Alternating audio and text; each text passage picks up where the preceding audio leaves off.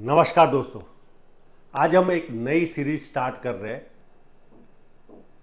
Personal में जो Mumbai office में आकर हाथ दिखाता है और कोई अलग से सवाल रहा या उसके सवाल का जवाब मैंने कहाँ ढूंढा, उसको लेकर मैं अब वीडियो बनाऊँगा बीच बीच में।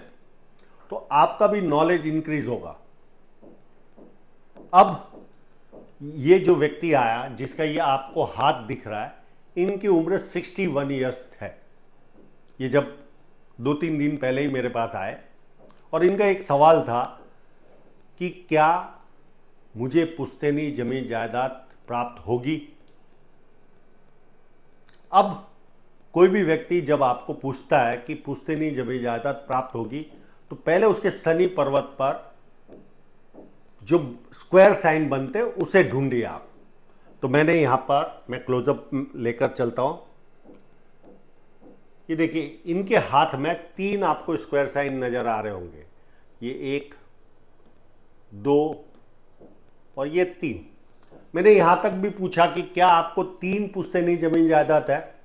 तो ये सहयोगी देखो आप, अगले के हाथ में तीन स्क्वायर साइन है और उनके पास तीन ही पुश्तैनी ज़मीन जायदाद है, जिस पर केस चल रहा है। उसके बाद ये कब प्राप्त होगा, वो कहाँ ढूंढा मैंने? तो ये एक ऑफशूट है, काफ़ी बड़ा। अब ये ऑफशूट जब इतना बड़ा है तो ये बड़े लेवल का धन प्राप्त करवाता है, बड़े लेवल का। छोटा मोटा धन नहीं मिलता। और इनके हाथ में आपको ये सन लाइन पर यहाँ पर मछली की साइन भी दिखेगी, मैं दूसरे फोटोग्राफ में दिखाता हूँ। ये यहाँ पर क्लियर कट मछली की साइन बनी हुई है। तो इस तरह की साइन वाला व्यक्ति ज़्यादा पैसे वाला होता है। तो मैंने एक और सवाल इनसे किया, क्या ये ज़मीन करोड़ों की है? आज की रेट के हिसाब से कहा यस करोड़ों की है। तो ये जब ऑफशूट होता है तो अचानक बड़ा धन लाभ हमारे जीवन में होता है।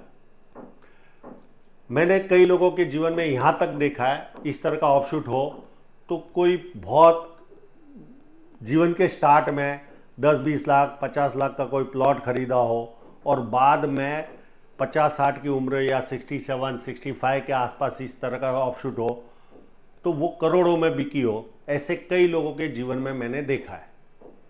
तो ये एक 67 में मुझे बहुत बड़ा ऑफशूट नज़र आया और इस इस सवाल का जवाब मैंने इनको दिया कि आपको 99.99.99 परसेंट आपको इस पीरियड में पुश्तैनी जबी ज़्यादा मिलने के पूरे योग है आपके जीवन में। अब आप यहाँ तक वीडियो देखकर आ ही चुके हो तो एक और आपको सरप्लस देता हूँ इसमें। जब किसी की व्यक्ति के हाथ में शनि पर्वत पर धन रेखा पर, शनि पर्वत को छोड़ दीजिए इस तरह का ट्रायंगल कहीं पर भी हो, पूरी धन रेखा पर तो व्यक्ति को कंस्ट्रक्शन का काम होता है। यानी कोई गोडाउन बनाना, या शादी के हॉल बनाना, या बहुत बड़ा घर बनाना, या फैक्ट्री बनाना, इस तरह का कंस्ट्रक्शन का काम चलता है व्यक्ति के जीवन में पर्सनल लेवल पर। तो ये देखिए, एक लाइन ऐसे गई, एक तो ये तो चल ही रही है धन रेखा एक लाइन ऐसे गई एक लाइन ऐसे गई, और यहाँ पर आपको बकायदा एक ट्रायंगल नज़र आ रहा है। ये इस तरह का ट्रायंगल अगर धन रेखा पर हो तो जितने पीरियड वो ट्रायंगल रहता है, तब तक व्यक्ति कंस्ट्रक्शन का काम चलते रहता है उसके जीवन में।